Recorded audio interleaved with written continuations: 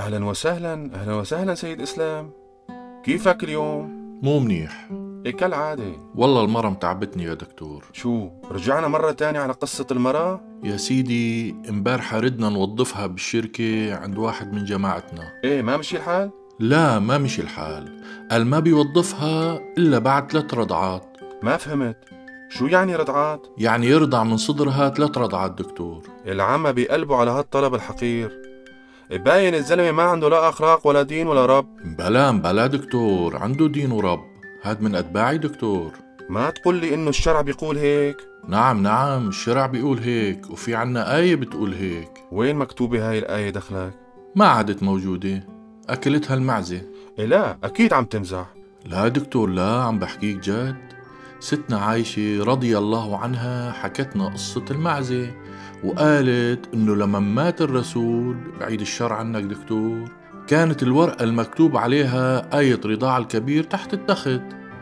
وقالت فلما مات رسول الله صلى الله عليه وسلم وتشاغلنا بموته دخل داجن فأكلها.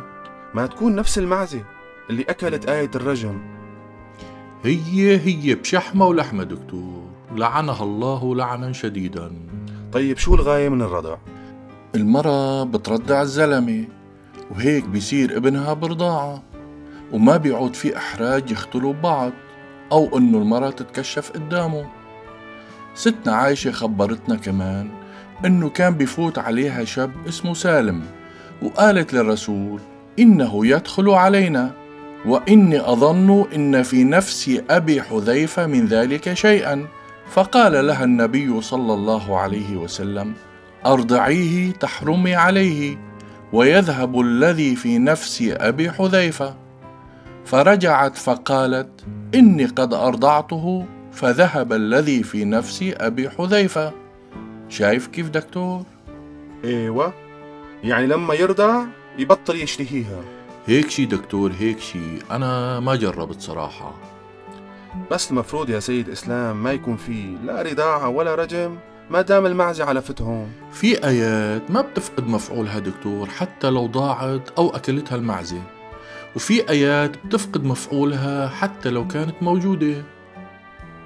طيب ما دام المعزة أكلتها وأنتوا حافظينها ليش ما سجلتوها بالقرآن؟ ومعقولة يا سيد إسلام الله يترك آياته علف للمعز؟ هي علينا دكتور. إي والله رح تطير لي عقلي بأسئلتك. سلامة عقلك سيد إسلام. سلامة عقلك.